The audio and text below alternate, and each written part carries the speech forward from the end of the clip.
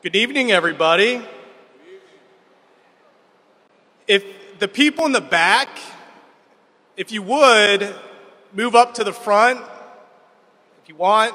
If you're a if you're an audience member, we'd like all the audience members in the front if possible.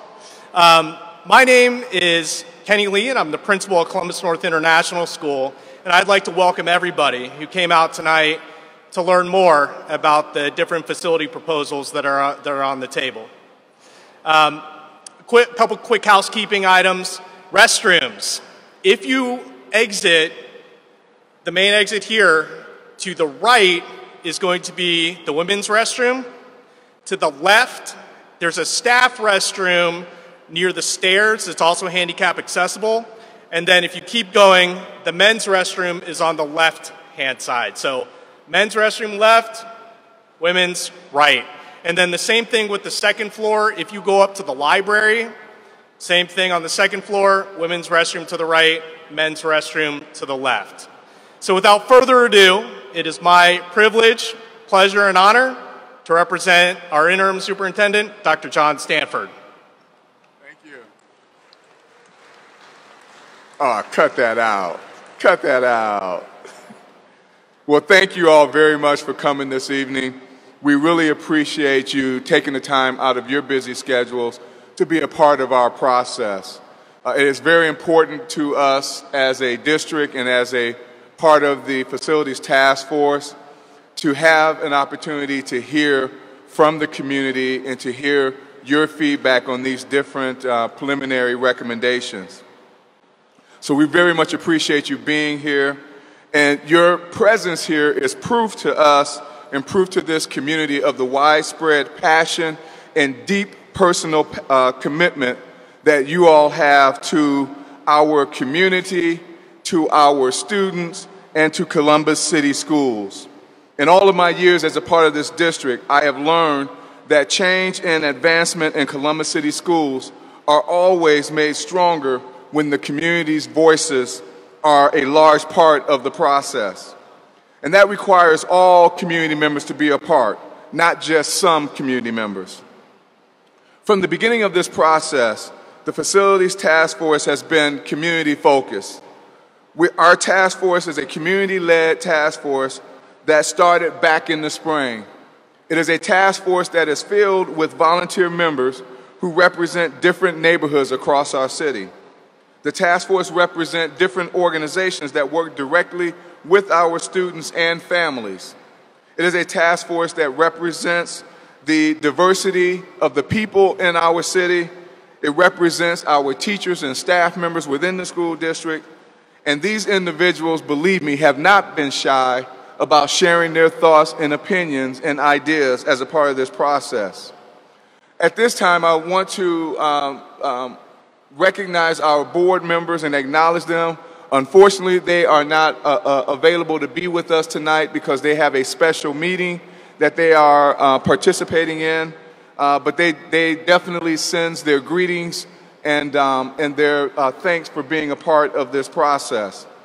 I also don't see the co-chairs of the task force, and I don't have my glasses on, so if uh, Perry Sabati and Jim Negron are in the audience, please stand up and be acknowledged by the audience.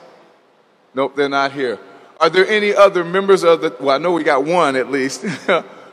are, if there are other members of the task force that are here, please stand up and be recognized by the audience.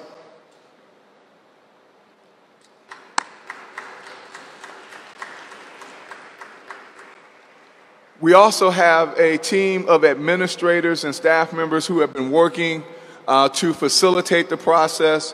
That, uh, that team was led by Maria Stockert, our chief of staff, and Alex Trevino, our director of capital improvements. I don't see them in the room, and so they are probably uh, setting up the next portion of the event after we receive the presentation from Mr. Varner.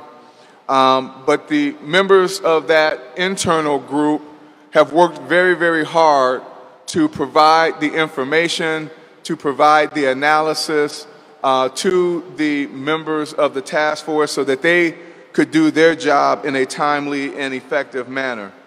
Since April of this year, the members of our facilities task force have examined data and information about all 110 schools in our district. Every school building in the district was reviewed, and every administrative building in the district was reviewed. In each of our buildings, our team looked at both the challenges and opportunities that present a range of building issues, such as the condition of the building, the capacity of the building, student enrollment in the building, and also transfer rates in and out of the attendance zones for that building. By the end of tonight's presentation, I hope you will appreciate that our process has been data driven, data informed, and very respectful of the diversity and the challenges that face our district.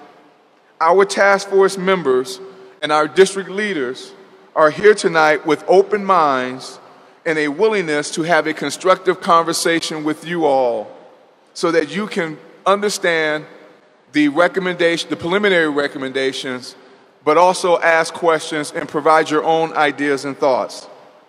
Staff members from the district will be capturing your feedback throughout the evening to share with the task force at their meeting in October.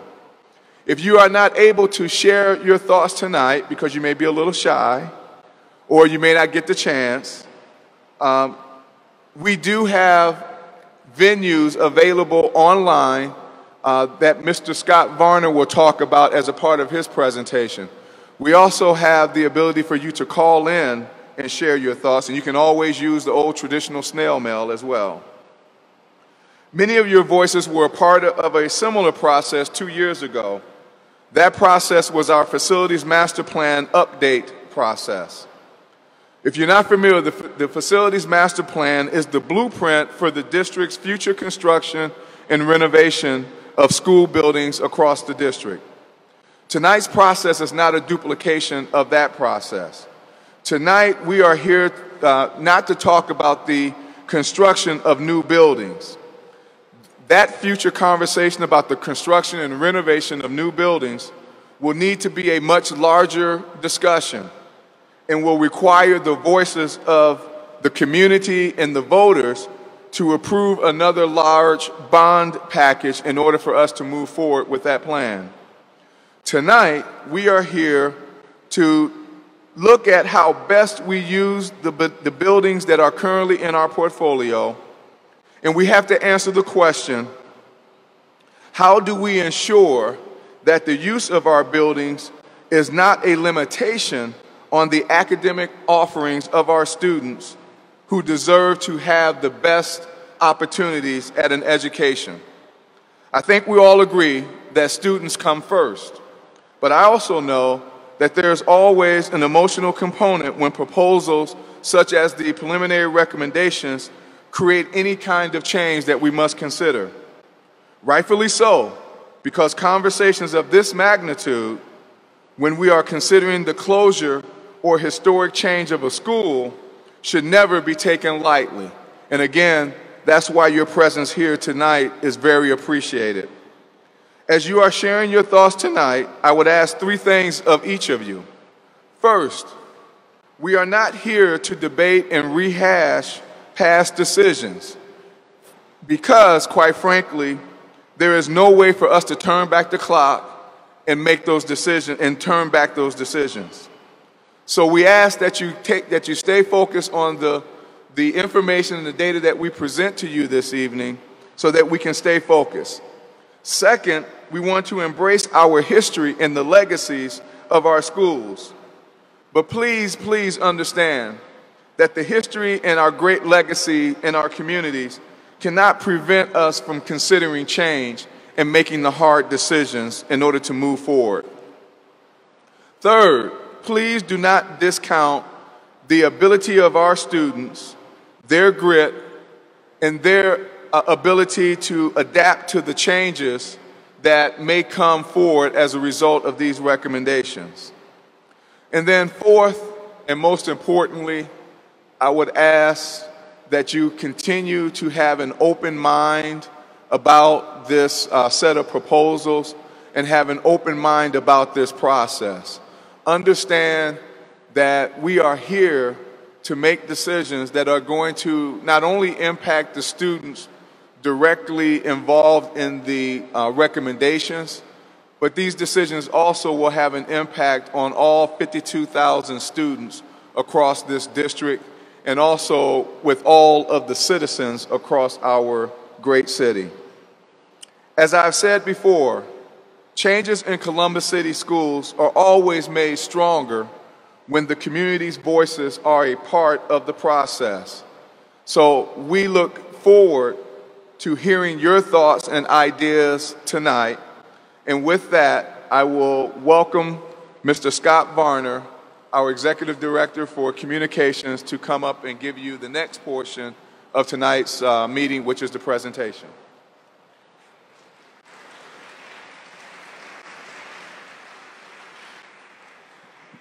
Well, good evening, everybody. First off, I want to make sure everyone can hear fine because we're leaving the fans on because it's just a little bit warm. That's why I left my jacket off. Um, making sure you can hear fine. But if for some reason you can't hear or something you see on the slides, you want to take a closer look, if you have the Columbus City Schools app on your phone, if you have the Columbus City Schools mobile app on your phone, there's a button on there. You can actually follow along with this presentation. You can download the PDF so you can follow along. So if there's something you see on here that you want to go back to, just make sure you have the Columbus City Schools mobile app.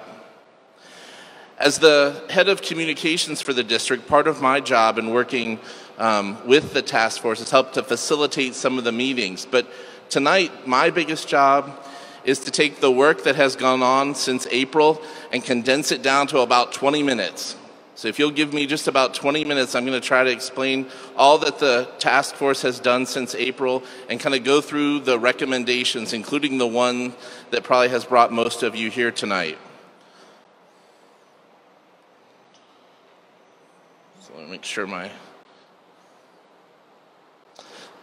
So, as Dr. Stanford mentioned, this community led task force, these individuals that represent many parts of our community, um, were supported by members of the staff. And together we looked at some of the national best practices, local history, and really that subject matter experience that many of us bring to the table so that this task force could really look through data, make recommendations, recommendations that were based upon um, rationale by policies that's set by the board, looking at a number of different factors with the goal of making sure that they had their final recommendations by October. So, what we're talking about tonight are just draft recommendations, they're first. And to give you a better sense of what this calendar has looked like, you can see they started in April, have had a series of meetings that gets us to September. September is the month that we've, they've dedicated to hearing as much public comment as possible. So, in addition to these public meetings, we've been meeting with students. We were here this morning meeting with a number of the students that might be impacted by this. There's a lot of ways in which they're collecting public comment during this month with the goal of making sure by October they can do their final recommendations, get those before the board in November. And the reason we have this timeline is because, as many as you know, in January, is when we open the school lottery. And we want to make sure that our families, before they enter that school lottery, have a best sense of what might be happening to our schools. And so that's the reason for this thorough timeline, but why we need to try to get this done um, in the time that we do. So let me kind of go through the process that this task force looked at. So, as the task force started, their first two priorities as they looked at our building was to make sure that the use of our buildings were a benefit to our students. In other words, was there anything about the buildings themselves, the way we use them, that hindered our students' academic opportunities? At the same time, then they asked, are we using our buildings as efficiently and effectively as possible? Do we have buildings that are half empty? Do we have buildings that are overcrowded? We want to make sure that the resources that we've been given, we are using them as most efficiently and effectively as possible and then making sure that that is a benefit to our students and their academic opportunities. So, with that, the task force started breaking things down. They looked at sheer numbers, data. They wanted to know a lot of numbers. They wanted to look at some of the qualitative elements of these buildings. What are some of the programming issues? And then third, they wanted to know about impact. If they made a decision to close or change boundaries or to merge, had to look at what that potential impact might be. What's it going to mean to the, the students that are in that school, to the families, to the community, to other schools that would have to also adjust? Let me go through even some of the specifics. So when we talk about data, they looked at everything from student enrollment. How many students are enrolled in each of our 110 schools? Then in each of those 110 schools, they looked at square footage and the number of classrooms and compared the two. How are we using our buildings? What's the utilization? Are we under capacity or over capacity? They looked at the condition of the buildings. Are they older buildings? Have they been new and replaced? Are they receiving some of the bond dollars that voters approved back in 2016 to allow us to do major repairs? Do they have air conditioning? Questions about the conditions of the building. And then finally, they numbers wise, they looked at transfer rates. You know what that is. That's where we look at the number of families that live in a neighborhood, and then how many of the students there choose to transfer to a building out of their neighborhood, or maybe number that transfer into the neighborhood who choose to come in as part of their school choice. So those are the numbers, the quantitative data they looked at, but then they moved to looking at qualitative data. Everything from the educational programming. If it's a STEM school, is that STEM program being offered with fidelity? They looked at safe access. Are there sidewalks and roadways that make it safe for students to get to school? What about accessibility? We also even pulled in uh, our partners over at MORPC to look at neighborhood trends. Where are the parts of Columbus where we're expecting to see more families moving into, families with school age children moving into? Um, grade band design. As part of the facilities master plan um, that Dr. Stanford mentioned, we heard from the community this desire to see a return to more of our traditional grade band designs. That's where you have kindergarten through fifth grade in elementary, or where possible pre kindergarten in there too. And then a true middle school experience, six, seven, and eight in middle school together. And then separate a true high school experience, 9, 10, 11, 12. And returning to across our district, we have some combinations of that and what we heard from the community, they wanted to see more of a return to that traditional grade banding. They even looked at everything down to the number of work orders. How many times have we sent a repair guy out to our different buildings? And then finally, in terms of impact, they wanted to look at just what would be the impact. If you closed a school, would you be able to really relocate the students somewhere else? What would be the impact or burden um, on a school? Would they be able to accommodate those students? How much would we interrupt feeder patterns? So uh, since April, the task force looked at all of that data. They looked at all, all 110 schools, and they came up with six, six recommendations that impact about three dozen of our buildings across the district. I'm going to walk you through those recommendations just so you have the information. I'm not here to try to convince you one way or the other. I just want to make sure that everybody has the same data and information that our task force heard so that you understand their recommendations because in a few minutes, when we have you go to our breakout sessions, I want all of us to have that same information, that we all are kind of playing from the, the same set of facts.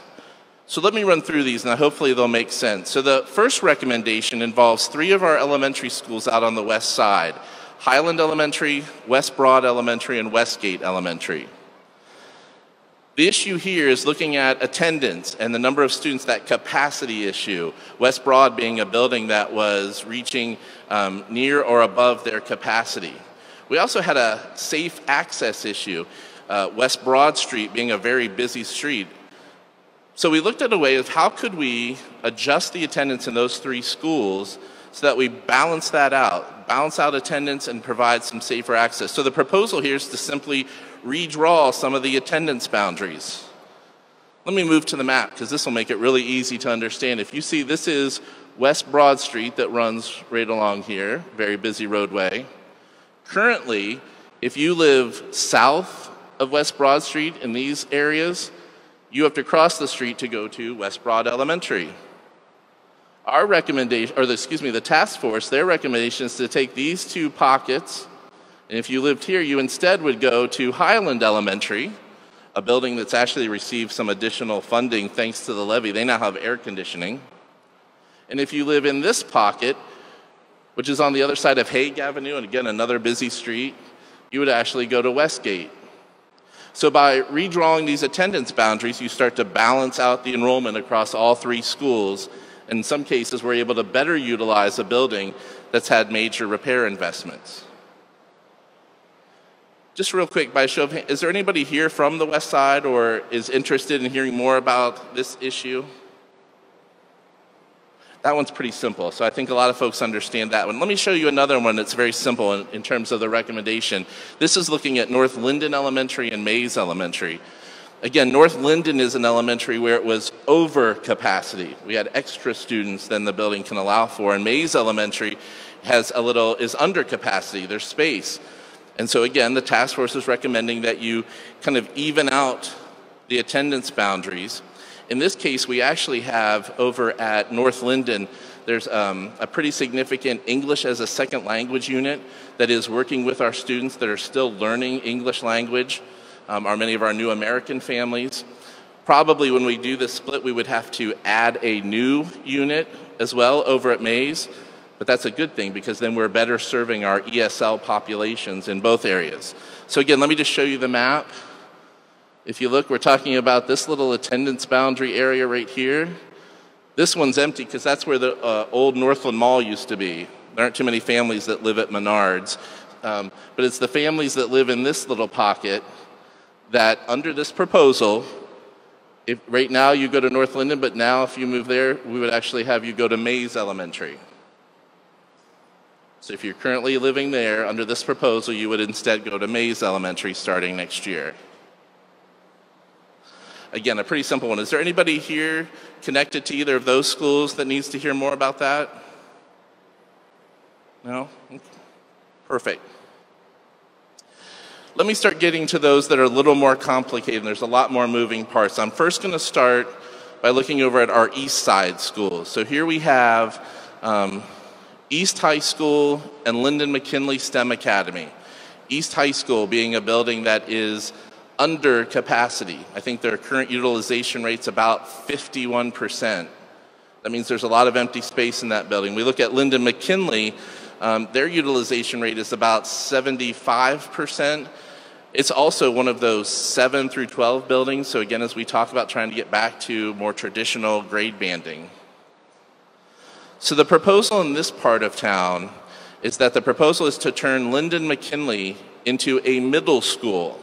So we change it from a high school into a middle school. We take the high school grades out of Linden McKinley and we put those into East. So now, if you were moving up through those feeder patterns, instead of going to Linden McKinley High School, you would instead go to East High School. You would come through this new Linden McKinley Middle School.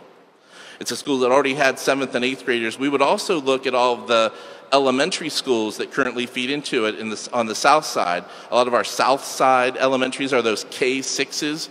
Again, sixth graders that are kind of still in elementary, and we want to give them that true middle school experience. So we would take all of those sixth graders out of those K6s and put them in the new Linden McKinley Middle School. We also have a couple of, of those ESL units I was talking about um, at nearby Mifflin Middle School and Medina Middle School. And we would actually pull those units out of those two middle schools and again put them in this new Linden McKinley Middle School. It's a brand, it's a, it's a renovated building with a lot of nice new space um, that would better serve those ESL students. Let me start to show you some of the, the map. And when we do that by pulling some of those classes out of Mifflin and Medina middle schools, we actually can combine them and close one of those buildings. So we would actually close Mifflin Middle School. Why do you do it? Well, what the task force said, by making those changes, you start to fully utilize buildings. East High School now has two middle schools that would be feeding into it. Linden McKinley would be a dedicated middle school that would have a number of schools feeding into it. Academics. Whenever we have larger student body populations, we are actually able to offer more academic programming. I mean, think about it. If in a smaller high school, if you have two or three students who maybe are interested in a specialized program or class, it's kind of hard for the school to invest a teacher uh, or dedicate a person for just one or two students. But suddenly, if it's a much larger student body, instead of two or three students, there's probably 10 or 20. And once you get to that more students, then you can look at more academic programming. You can look at more extracurricular offerings. As we talk about that grade banding, again, giving students that true middle school experience instead of having young people, sixth graders still in elementary, instead of having seventh and eighth graders being put into high school, we had, uh, with that new Linden McKinley Middle School, we were able to create that true middle school experience. I already mentioned some of the improved ESL space. Combining both Mifflin and Medina, again, allows for us to bring students together for a larger student body, gives that true middle school experience. And here's one of the other points, too. We know that buildings and neighborhoods are often points of pride. Whether they're a high school or a middle school, there's a great sense of pride around that high school that many folks have went to a middle school. And so by maintaining the buildings, even though we're changing Linden McKinley to a middle school, we still maintain the Linden McKinley building and still give that community a point of pride. We thought that was important. One thing we did note on this is this is going to be something that will take a little bit longer because right now East High School is part of the uh, Ohio State University, their health sciences academies. It's a great program getting a lot of attention. Linden McKinley is getting a lot of attention for its STEM programming. So we need a little bit of time to kind of rework the curriculum so those both can come together. So that would actually be a two year implementation. Most of what we talk about are in one year. This would probably be two years. So, real quick, this just kind of shows you how everything would work. So, now East High School would have two feeder patterns that feed right into it, two middle schools. This just shows you the map. So, if you live anywhere in these sections, your high school would become East High School. This just shows, again, once we move some students out of Mifflin Middle and Medina Middle, we can actually combine both of these buildings and move everybody into Medina Middle School and close down Mifflin Middle School again, which is one of our older buildings, no air conditioning. This was a pretty big topic the other day when we were at Linden McKinley, but is there anybody here tonight that wants to, is here to talk more about Linden McKinley? Great, thank you. Hopefully you got your ticket out front to show you where that room was. Perfect, thank you. All right, let's move on to another one, very similar to this. This is looking at our South Side schools, um, looking at Marion Franklin High School and South High School. Very similar proposals, very similar concerns. Marion Franklin being a building that is underutilized. How do we better utilize it? South being a school that is one of those 712 buildings. How do we restore those traditional grade bands? So the proposal here is very similar in that we convert Marion Franklin High School into Marion Franklin Middle School.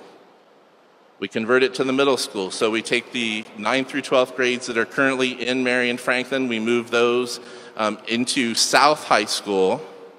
At South High School, we take the 7th and 8th graders that are currently there and move them into this new Marion Franklin Middle School. Again, getting them more of that middle school experience. Also down there is Buckeye Middle School. We would actually take all of the students out of Buckeye Middle School, put them into this new Marion Franklin Middle School, and close Buckeye Middle School. We would actually close that building. Again, an older building, no air conditioning. Marion Franklin is an older building, but it has air conditioning. Just got it this year thanks to Operation Fix It, those bond repair dollars. Also in that neighborhood, again in the south side, that we have a number of schools that are those K-6 programs. We would take those sixth graders out, no longer sixth graders in elementary. They would go to this new Marion Franklin Middle School. By doing that, that gives us some extra space at those elementaries where when the money's available, we can add pre-K. But at the same time, it gives us a little more room to address some of the other non-academic barriers that our students may face.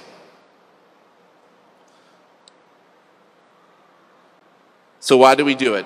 Again, it's about utilization. How do we better utilize the, a building that's half empty at Marion Franklin? Their utilization rate is currently 53%. We would now have nine elementary schools, nine elementary schools feeding into that building, into this new Marion Franklin Middle School.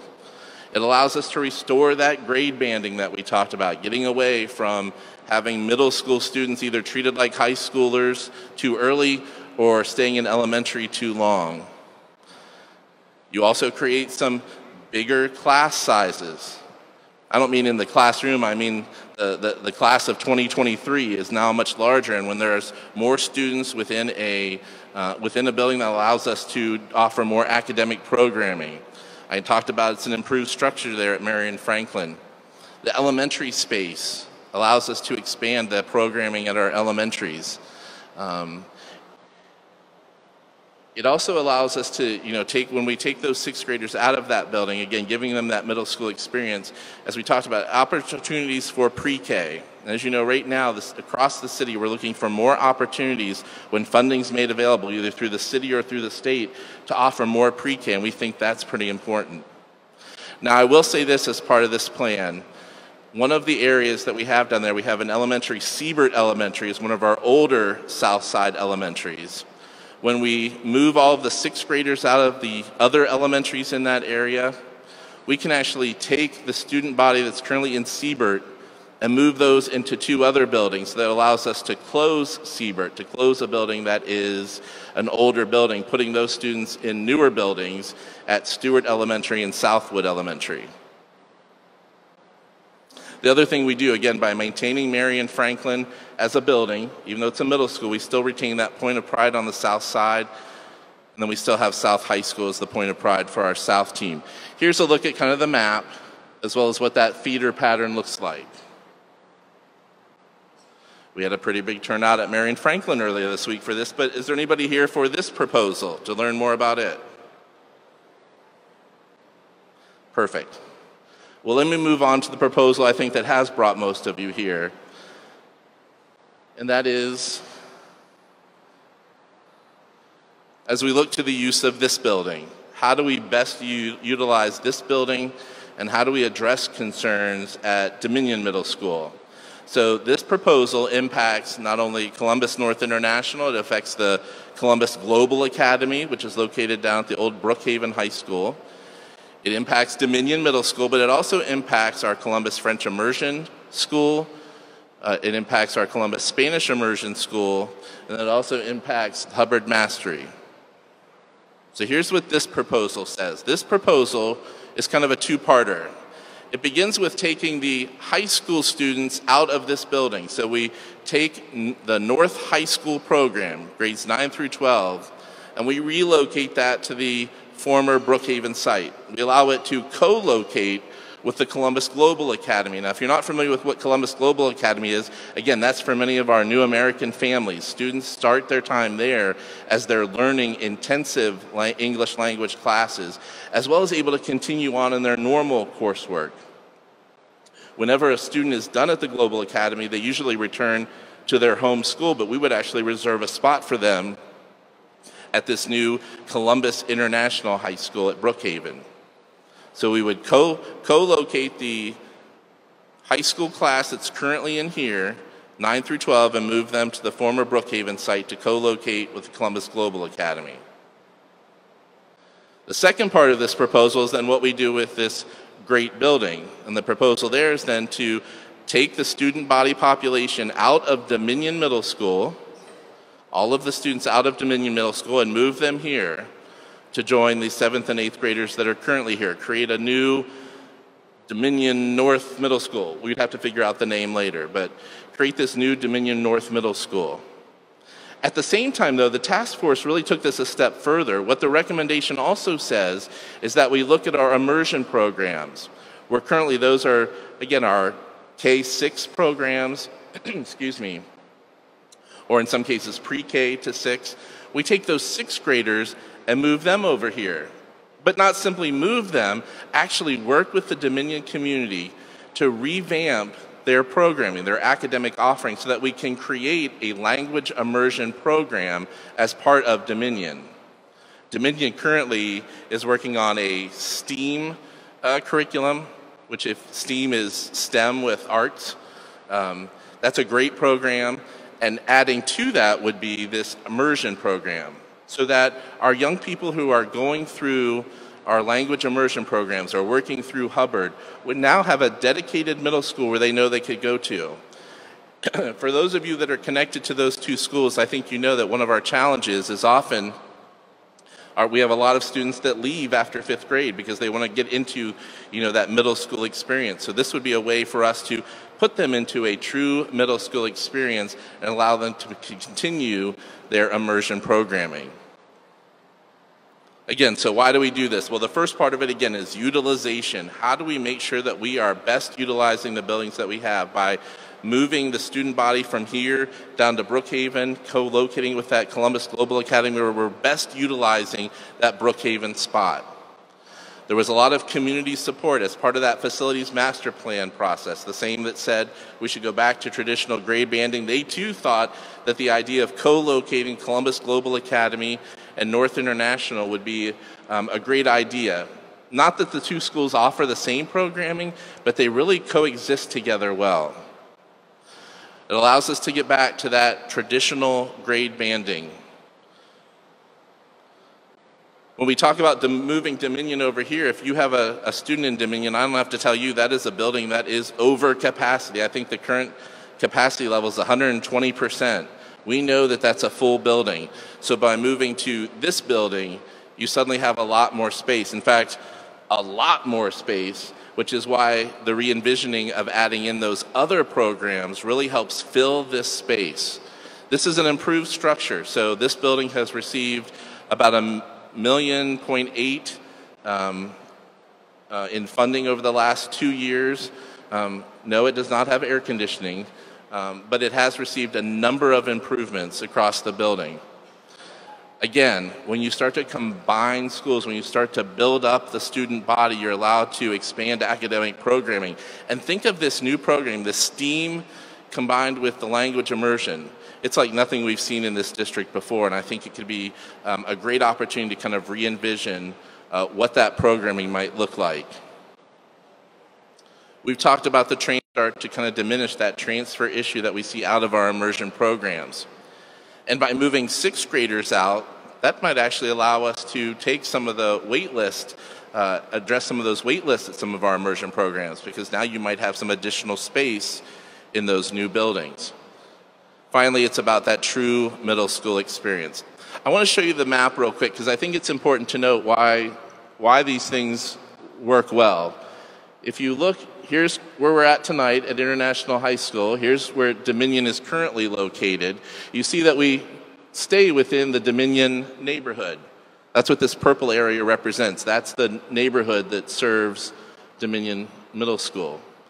Here's the former Brookhaven site, so we'd be moving international to this Brookhaven site. The red dots over here represent international students. So you see that we stay right within where many of our international students currently go. The other thing here is that um, our, our, guys that do the map are pretty fancy.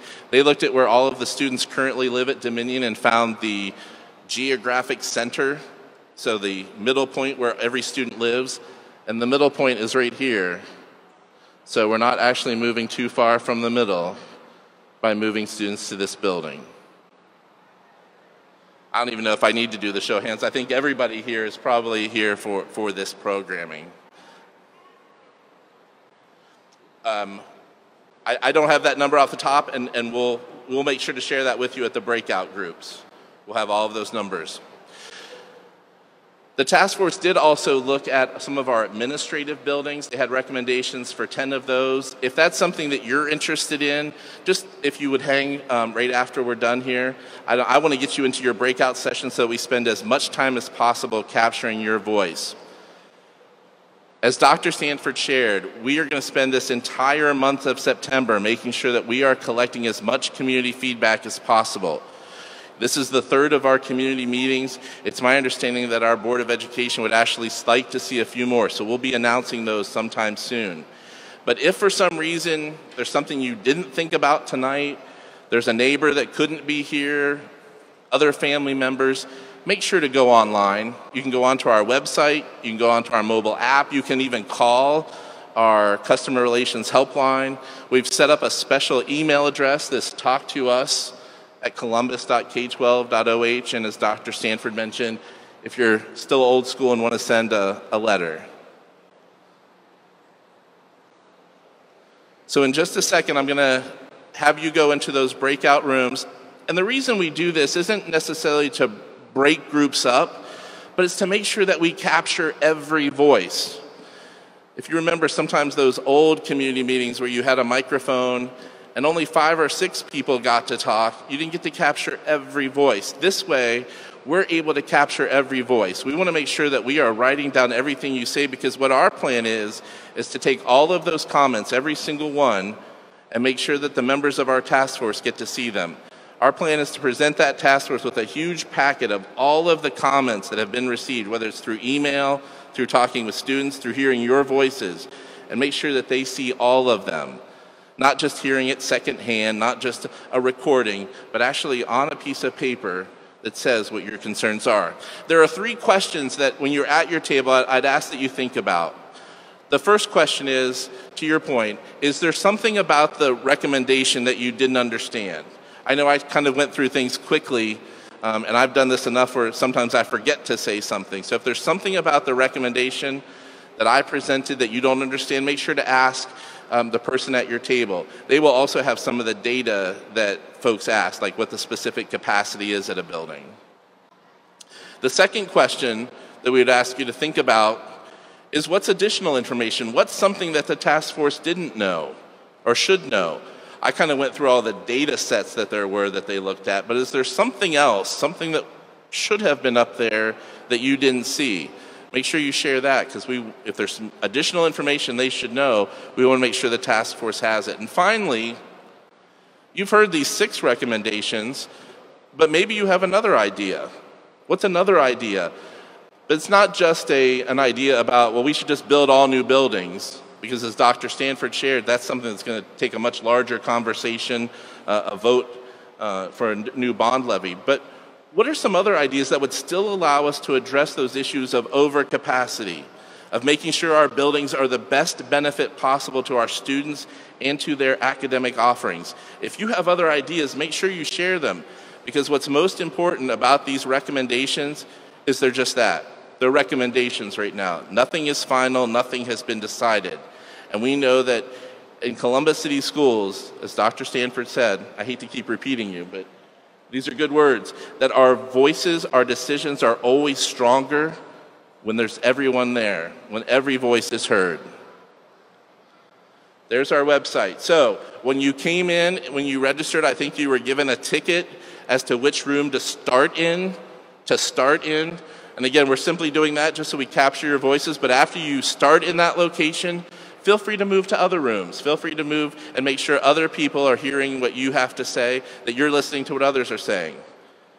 So, with that, I appreciate you being here, and we look forward to hearing your voices in those rooms. Thank you.